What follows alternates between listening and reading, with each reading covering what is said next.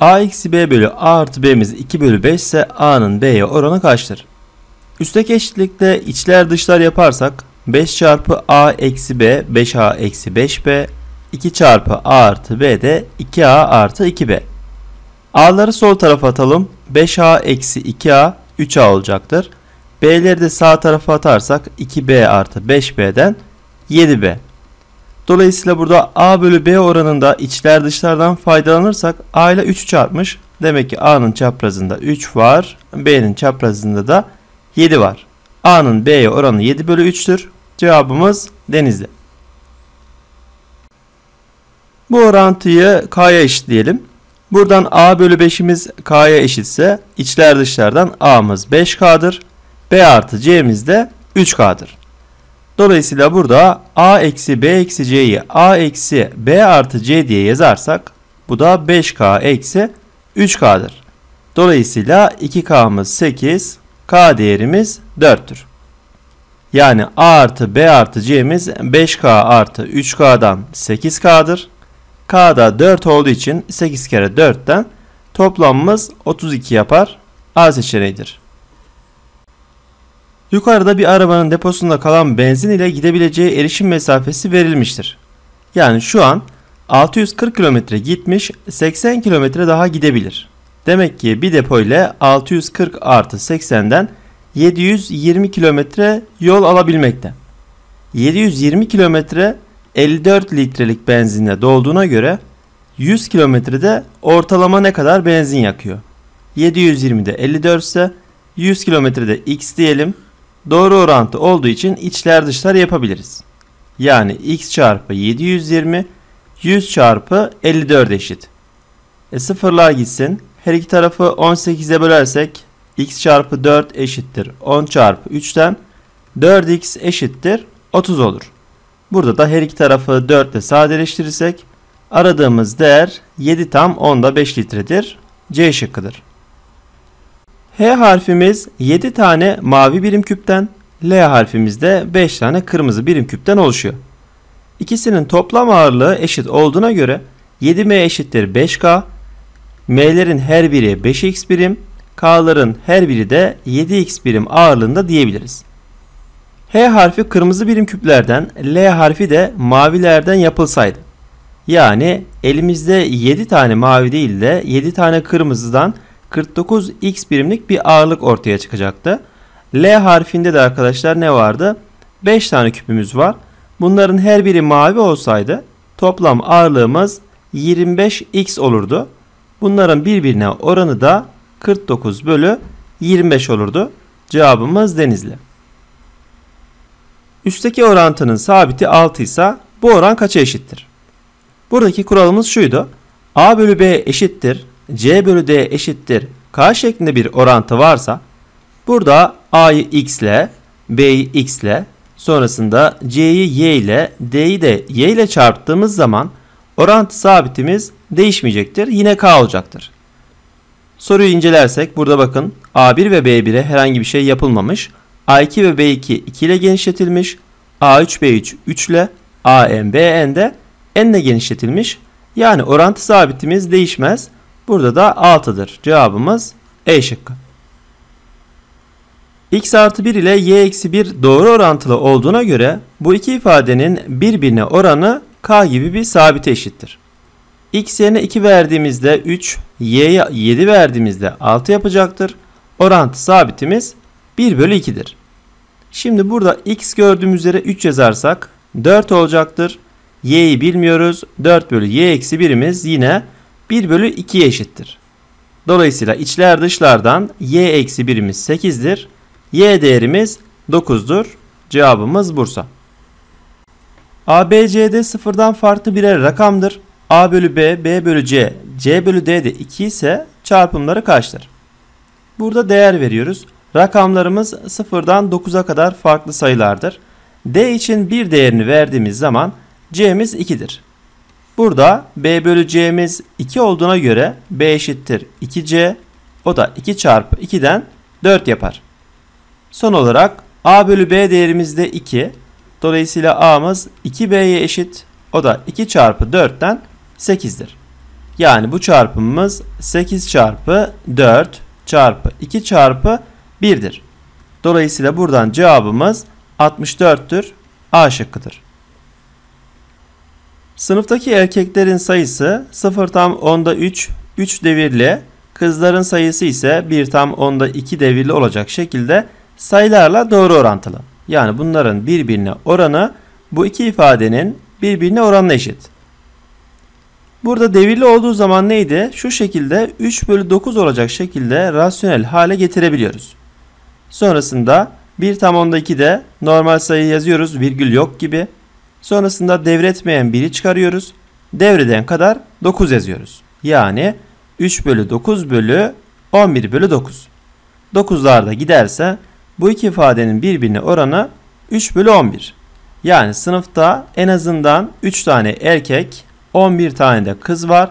Sınıfın mevcudu toplam 3 artı 11'den en az 14'tür. Cevabımız Denizli. Bir çember yayını 6400 eşit parçaya böldüğümüzde her bir parçaya 1 milyem diyoruz. Bir çember yayı yani 360 derecemiz 6400 milyeme karşılık geliyor. Buna göre ölçüsü 144 derece olan açının kaç milyem olduğunu bulunuz diyor. 360'da 6400 ise 144 de x'tir. İçler dışlar yaparsak 360 çarpı x eşittir 6400 çarpı 144. Sıfırların birer tanesi gitsin. Her iki tarafı 36'ya bölersek burası 4 defa olacak. x eşittir 640 çarpı 4'tür. Buradan da cevabımız 2560'tır. D seçeneğidir. Burada öncelikle a bölü 2'miz b bölü 3'e eşitmiş. Bunu da k'ya eşitleyelim. İçler dışlar yaparsak a'mız 2k, b'miz de 3k. Soruda bize toplamlarının 20 olduğu verilmiş. İkisini toplarsak 5k'dır. 5k 20'ymiş. Yani k dediğimiz değerimiz 4'tür. Dolayısıyla a bölü 2 eşittir. b bölü 3 eşittir. 4 bölü c bu da 4'e eşit. Yani a'mız 4 kere 2'den 8. b'miz 4 kere 3'ten 12. c ise burada arkadaşlar 4'ler sadeleşirse 1'dir. Şimdi burada getirip yerine yazalım. B yerine 12, A yerine 8, C yerine de 1 yazarsak 12 çarpı 9'dan işlemin sonucu 108'dir. Bu da E şıkkıdır. Alemdar N dakikada M tane kelime okuyor. Buna göre kaç dakika sonra M kare tane kelime okumuş olur? Burada dakikamız arttıkça okuduğumuz kelime sayısı artar. Dolayısıyla Burada bir doğru orantı vardır. İçler dışlar yapabiliriz. Yani x çarpı m eşittir. n çarpı m karedir. m'ler sadeleşirse x eşittir. n çarpı m'dir. Cevabımız C şıkkı. A, B ve C maddelerinden oluşan 72 gramlık bir karışımımız var. Öncelikle A'mız 90 derece, C'miz 150 dereceyi kapsıyor. İkisini toplarsak 240 derece yapar. 360 dereceden 240'ı çıkarırsak B için kalan açı 120 derecedir. Şimdi tamamı 360 derece. 360 derece 72 gramı kapsıyor arkadaşlar. Sadeleştirirsek 72'ye bölersek 5 derece 1 grama karşılık gelir. Yani B'nin ağırlığını sorduğu zaman 120'yi 5'e bölersek 24 gram diyebiliriz. A'nın ağırlığı da 90'ı 5'e bölersek 18 gramdır. Yani 24 eksi 18'den aralarındaki ağırlık farkı 6 gramdır. Birinci ifade doğru. Sonrasında C'ye bakalım. C için arkadaşlar 150'yi 5'e bölersek 30 gramdır. B'nin ağırlığı 24'tü. 30 eksi 24'ten aradaki fark yine 6'dır. İkinci ifade de doğru. Karışıma ABC maddelerinden her birinden 6'şar gram eklersek Şimdi A'nın ağırlığına ne dedik? 18. B'nin ağırlığı 24. C'nin ağırlığı şu an 30 gram. Toplam 72 gram. Hepsine 6'şar gram eklersek 24, 30 ve 36 olur. Bize burada son durumda B maddesinin karışımdaki oranı sorulmuş.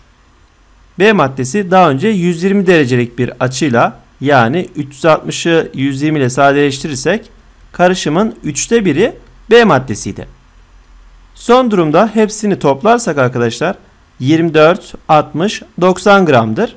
B maddesi burada 90 gramda 30 gram.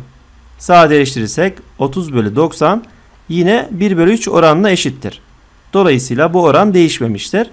Yani her üçü de doğrudur. Cevabımız E şıkkı. Buradaki orantıda içler dışlar yaparsak 3 çarpı 2x eksi y eşittir 2 çarpı x artı y'dir. Dağıtalım 3'ü dağıtırsak 6x eksi 3y 2'yi dağıtırsak 2x artı 2y gelir. Şimdi x'leri sol tarafa atalım. 6x eksi 2x y'leri de sağ tarafa atarsak 2y artı 3y. Yani 4x eşittir 5y'dir. Burada x'e ne diyebiliriz? 5 dersek y'miz de 4 olmak durumunda. Yerine yazarsak 5 artı 4 bölü 4 gelir. Yani cevabımız 9 bölü 4 ile C şıkkıdır.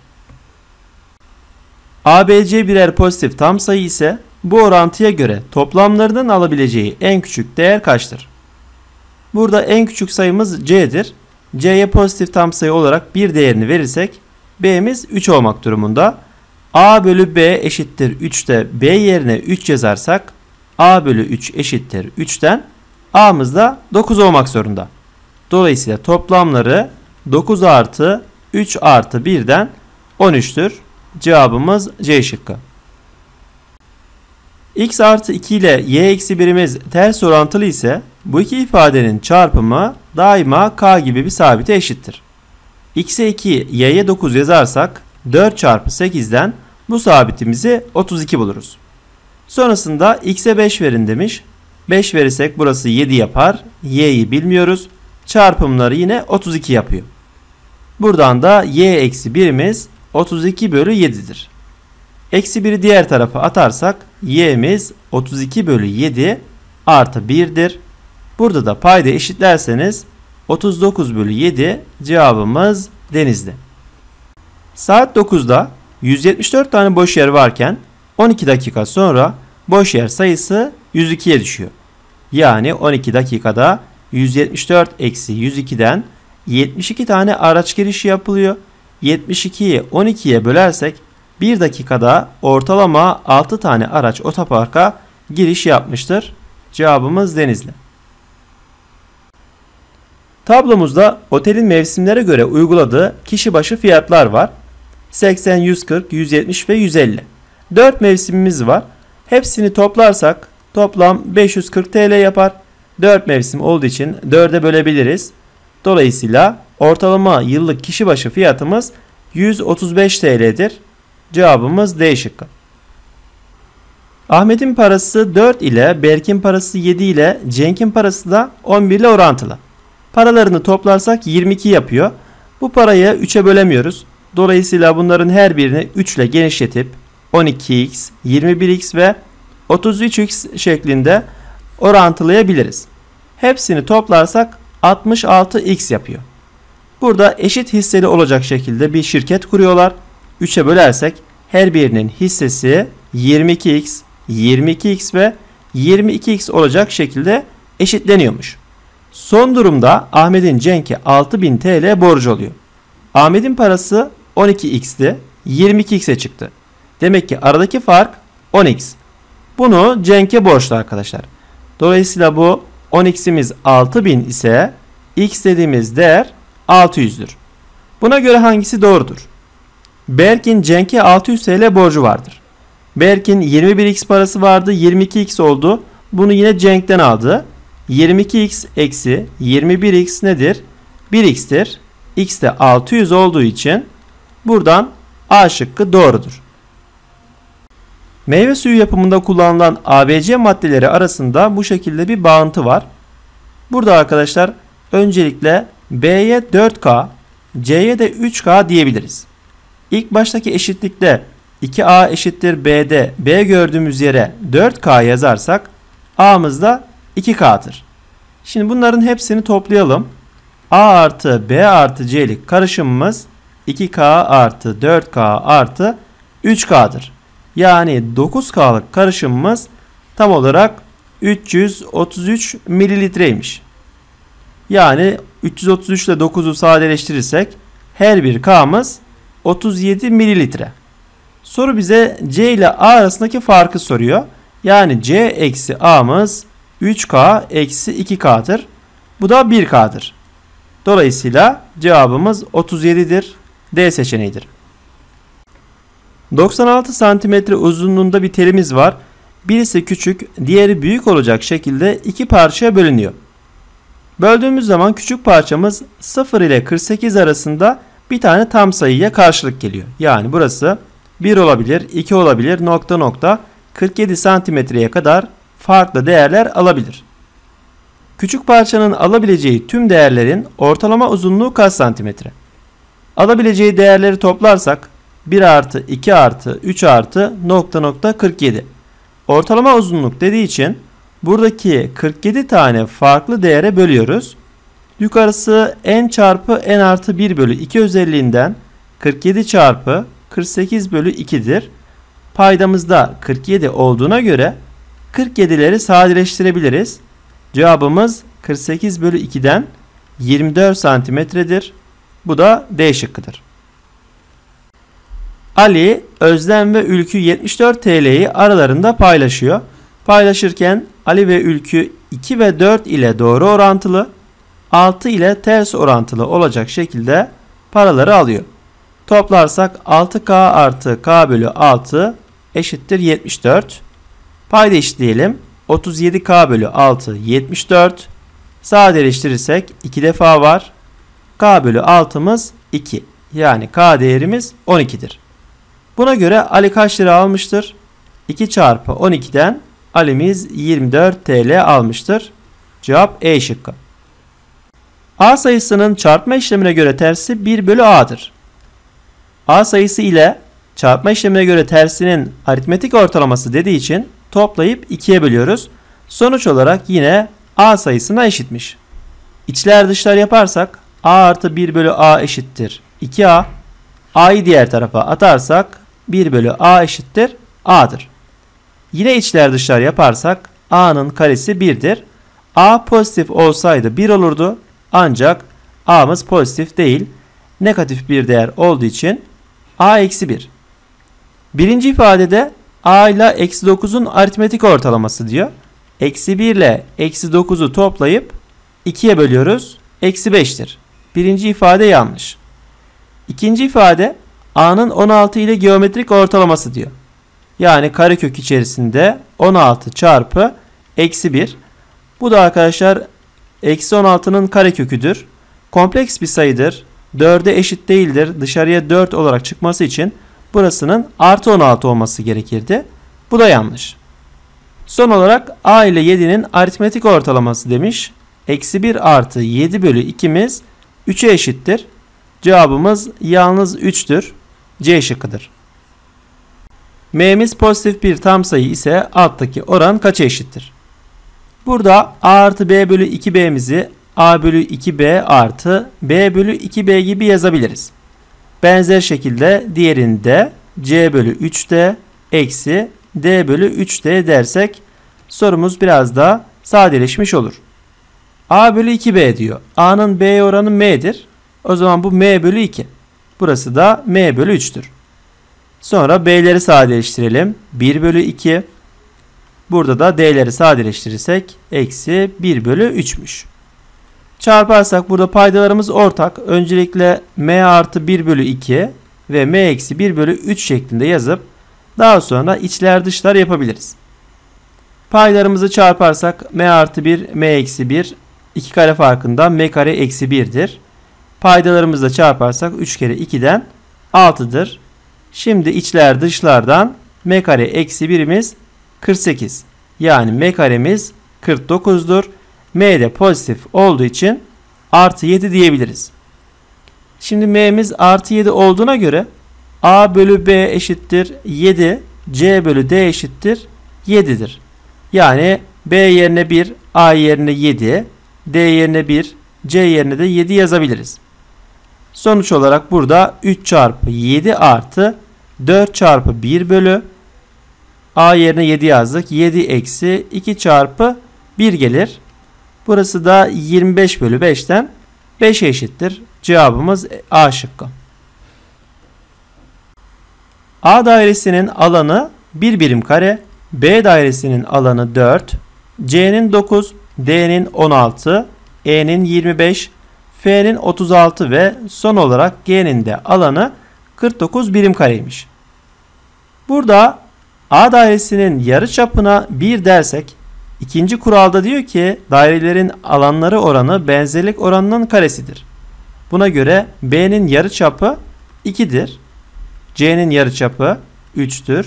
D'nin 4'tür. E'nin yarı çapı 5'tir. F'nin 6'dır. G'nin de yarı çapı 7'dir diyebiliriz.